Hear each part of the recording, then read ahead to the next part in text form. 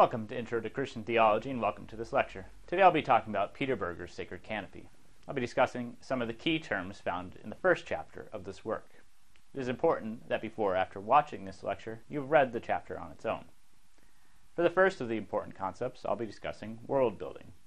This term does not refer to literal building, of course, but to the development of human concepts and symbols which come to form a world for us. World building is the construction of society, culture, language, religion, science, and so on, all of which provide us with the place where we live. To describe this process of world building, Peter Berger uses the term dialectic. A dialectic is a relationship of two competing arguments which can be held in tension to produce a conclusion. Berger's dialectic is this that humans produce society and society produces humans. To describe this dialectic, Berger identifies three terms. The first is externalization, the activity of humans developing concepts, ideas, or institutions which provide an order to the world we live in. The second term is objectivation, the process where humans take what is humanly created in the process of externalization and turn it into reality. For example, the reality of fashion. Humans invented the idea of clothing, likely as a way of keeping warm, and has now become essential to our conception of beauty to be appropriately dressed. It is real to us, that is, objective, that we expect people to wear certain clothing in certain situations, although the idea that clothes and beauty are associated is a concept created by humans. Finally, the final term is internalization.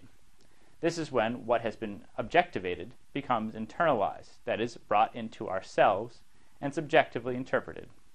Here it is prepared once more for the process of externalization.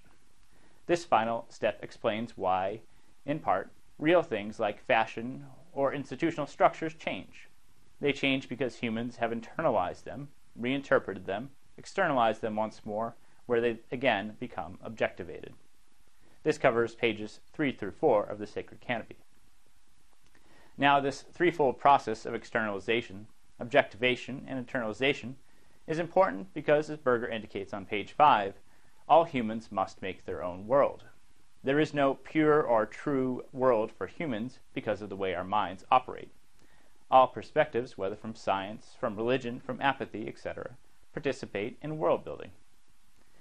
As Berger explains on page 6, this is why different cultures exist. Culture exists within all areas of human life and within subcultures. It is not something that humans can escape from.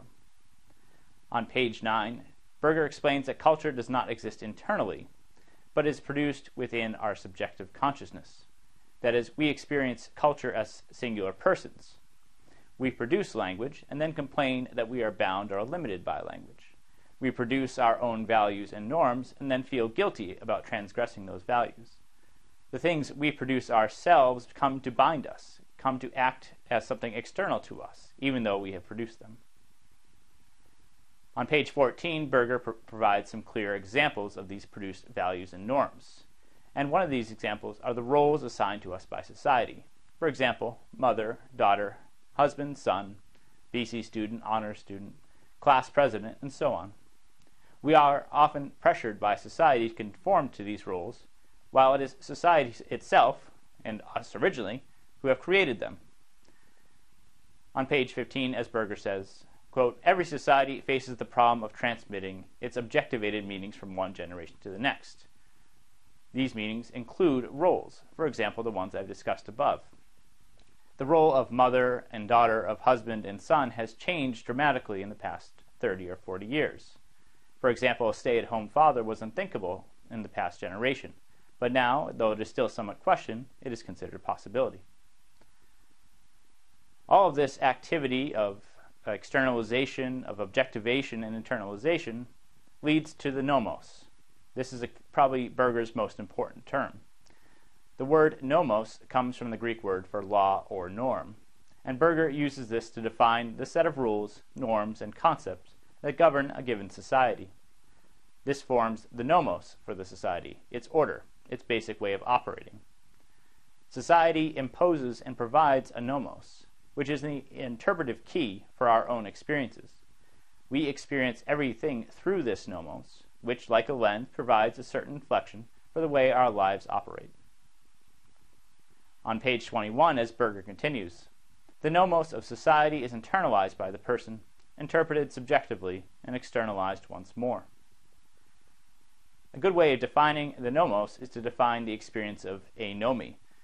This is the experience of living without a nomos, without a law or order to your lives. It is rather unpleasant experience. The nomos provides meaning to our lives, and a life stabilizing event can lead to anomy. In this situation, the experience of affection may lose its meaning, for example.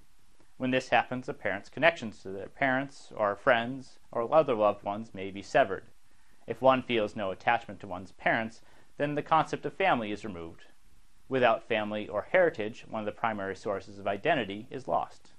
There is no grounding or point of reference, and the person have, has no sense of who they are, what they should do, or why. This is anomy. You'll probably experience this at least once in your life, and most likely during college. Now, coming to the point of relevance for this book, the reason why we're reading it in this course is the question of religion. Religion is, in Berger's eyes, the establishment of cosmos. Now, a cosmos is the concept of the universe, the rules accompanying this, and this is a part of the nomos. The cosmos is again a Greek term, as is nomos, and it uh, is a Greek term used for universe or world. Now, what Berger calls cosmization is the creation of a universe, and it is not limited to religions, but is also found especially in science. For example, what the universe consists of, whether it means anything, whether our role means anything in the universe, whether there is good and bad, good and evil, so on and so forth, all of these things are part of a cosmos, part of an explanation of how the universe functions and operates, which is created by humans.